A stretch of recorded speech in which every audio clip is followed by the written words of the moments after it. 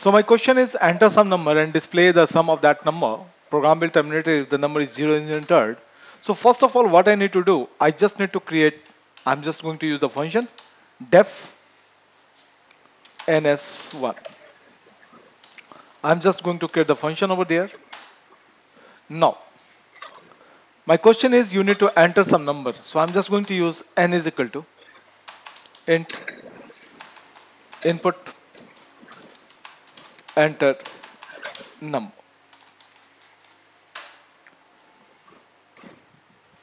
And I need to display the sum of that number. So naturally, like uh, multiple numbers will be there over. So I'm just going to use while n not equals to 0. If the first time the n will be 0, your program will get terminated. I'm writing while n not equals to 0. In the audio, some disturbance is there. Uh, just you need to, someone need to mute the things like I'm just getting the echo. Okay. Yeah, no, it's fine. Yeah. So I'm writing while n not equals to 0. I'm just writing, I'm declaring the variable over there. Sum is equal to 0. And I'm writing sum is equal to sum plus n. And again, uh, to continue the loop, again I need to enter the value in the loop. So again, I'm going to enter the value. So this is how the loop will uh, move on. And finally, what I need to do, I need to display the sum. So I'm writing print sum is comma sum. And what I need to do, I just need to call this function. So I'm writing ans1. Run this. Enter number. Enter number. It's unlimited number we are entering over there. But if I'm going to enter the zero, we are getting the sum is 121. Once again, execute this. The first time I am going to give 0. Again execute. I am going to give like 5, 6, 7, 0.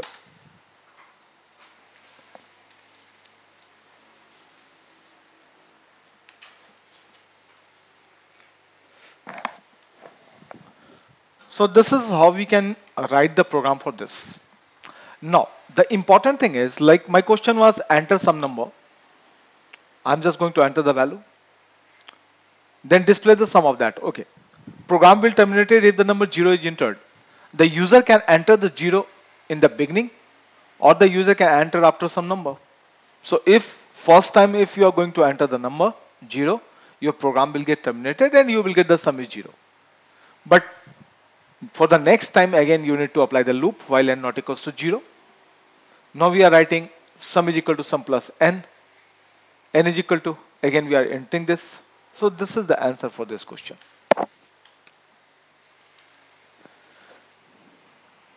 Yeah. Any problem with it with this?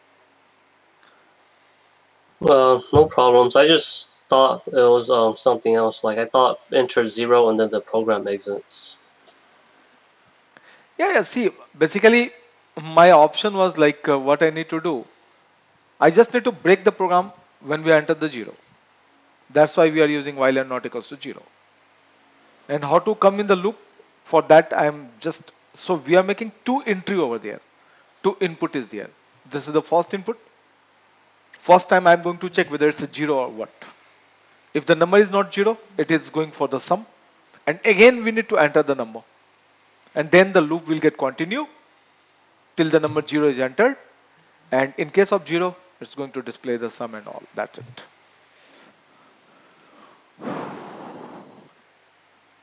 So this is the answer of the first question. Again,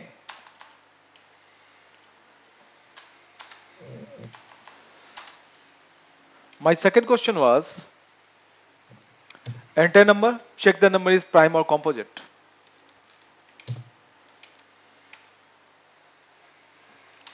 This is the second question.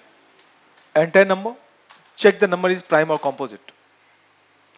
Okay, again I'm going to make the function def prime and I'm just going to pass the parameters over there.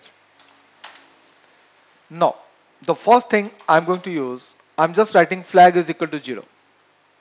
The first time the flag will be 0. This is just a local variable I'm just going to use. Now what I need to do, because uh, I need to check the number and the division will start from the 2 up to n minus 1. So I'm writing for i in range 2 comma n. n means what? By default n minus 1 because we are using range. Now we are writing if n modulus i is equal, equal to 0 in that case what we are writing over there flag is equal to 1 and we are just exiting from the loop break now we are using if flag is equal equal to 0 I'm going to display print. The number is prime. Otherwise I'm going to use else print. The number is composite.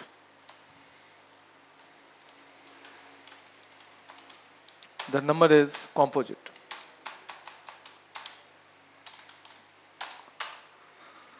now what I need to do I just need to call this function so I'm just going to use prime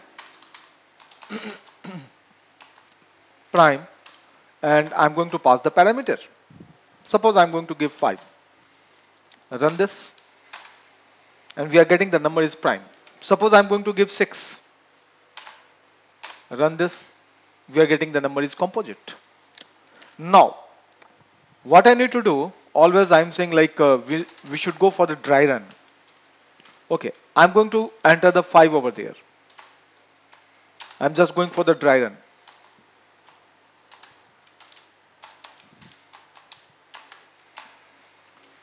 I'm just going to enter the value 5 over there. The 5 will assign to the n.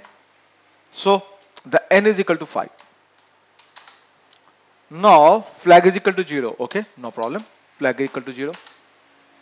For i in range 2 comma n. So the first value of i will be 2.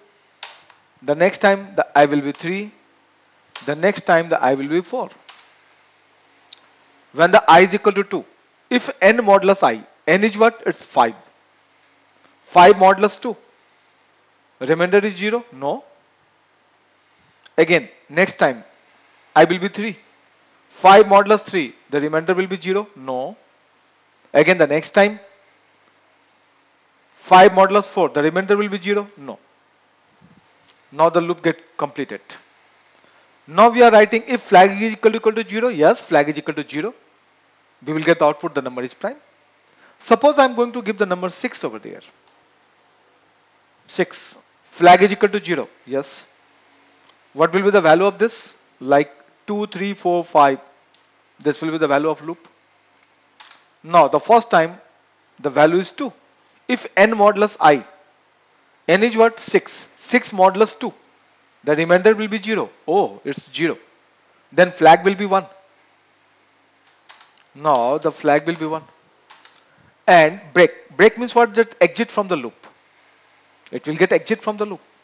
Now we are checking if flag is equal, equal to 0. Yes. No. Flag is equal, equal to 1. So what will be the output? The number is composite. We are using flag. If the number is going to divide by uh, divide by this, the flag will be 1. Otherwise by default it's 0. That I need to check. What exactly we need to do? We just need to check whether it's divisible or not.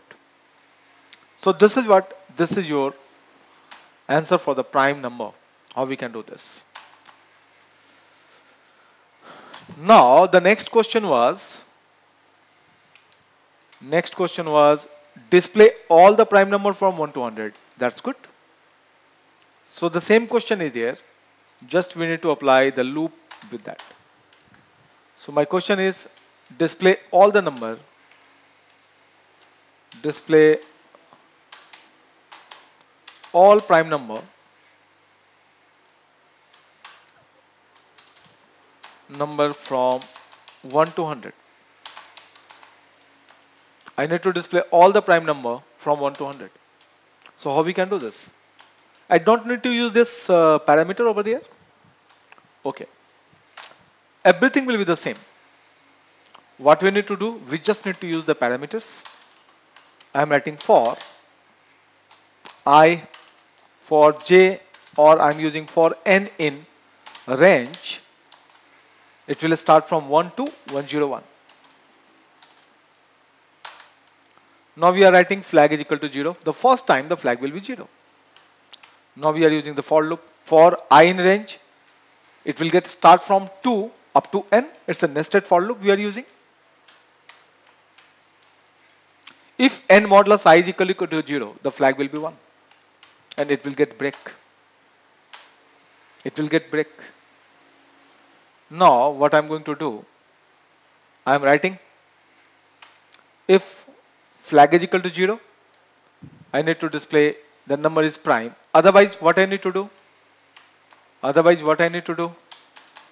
I just need to write because flag is 1 I need to make it 0 so I'm just writing flag is equal to flag is equal to 0 that's it.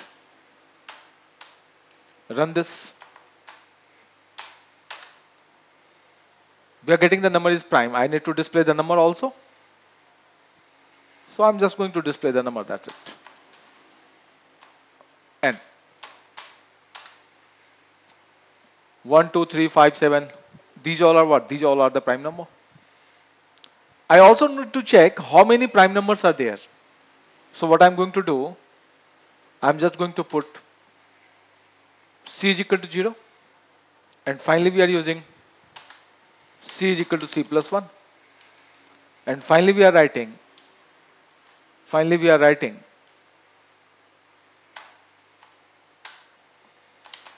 Print. Total prime number is number of prime number is what? Let's see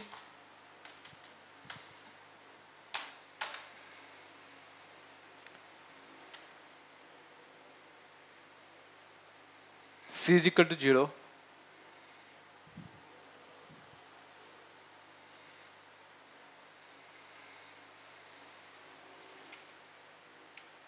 every time if flag is equal, equal to 0 it's going to display the print n.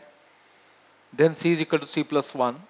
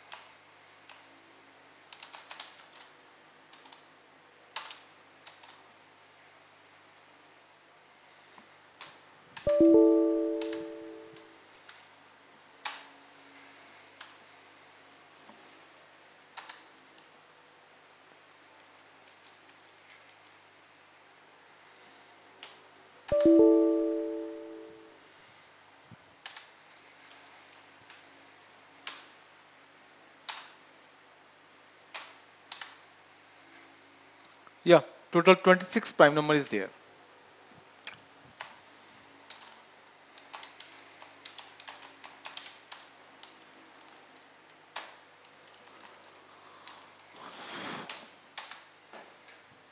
Total 26 prime number is there. So basically what we are doing over there, we are we are just writing for n in range 1 comma 101 and finally we are processing all these things only. Every time we are dividing this if it's going to divide the flag will be 1 now after the completion of this loop I am just checking if flag is equal, equal to 0 it's going to print that value and I'm just going to increase this. Otherwise, because flag get 1, so what I need to do? I need to go make the flag is equal to 0 for the next time. And finally, we are displaying this.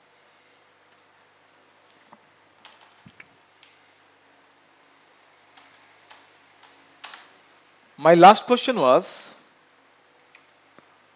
my last question was enter number. Okay. Display all the magic number from 1 to 100 how we can do this? Display all magic number from 1 to 100 how we can do this? I'm writing def magic.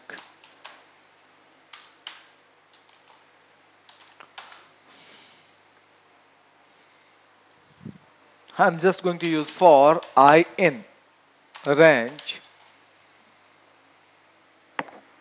The magic number will start from 19. 9 plus 1, 10. It has to go up to 100. After the 19, what will be the next value? It will be the 28. After the 28, what will be the next value? 37. After 37, what will be the next value? It's 46. So, how many differences are there? Like 19. After the 19, it will be 28. So, there is a difference of 9. I'm going to print I. That's it. This is the simple logic for this. Yeah, we are getting 19, 28, 37, 46, 55, 64, 73, 82, 91. Otherwise, otherwise what we can do, this is the first option. Otherwise what we can do, I am writing def magic.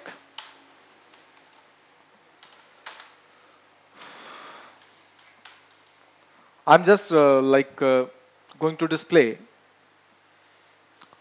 the entered number is magic number or not. Okay. I am writing while n not equals to 0. I am writing d is equal to n modulus 10. I am using sum is equal to sum plus d. And what I'm going to use, I'm just going to use n is equal to n divided by 10. I'm using sum over there, sum is equal to 0. Now I'm writing if sum is equal, equal to 10. What we need to do, we just need to print it's a magic number. It's a magic number. I'm going to give like 19. I'm just going to give like 19. Run this. We need to check. We are using while n not equals to 0. Yes, n not equals to 0 is n is equal to 19. D is equal to n modulus 10. So it's 9. Sum is equal to sum plus d. So what will be the value of sum? It's uh, 9 over there. And we are using n is equal to n divided by 10. Double slash. Yeah, it's a magic number. Suppose I'm going to give like 28. It's again magic number. And suppose I'm going to give 18. It's not a magic number. You will not you will not get anything. So this is the function for the individual magic number. Display number is magic number or not.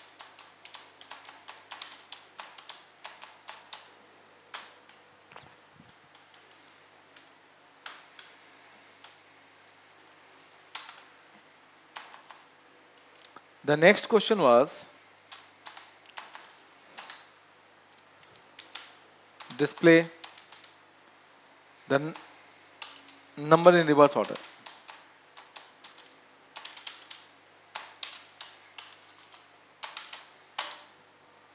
My next question was display number in reverse order. So how we can do this? I'm just going to create the function over there. Def reverse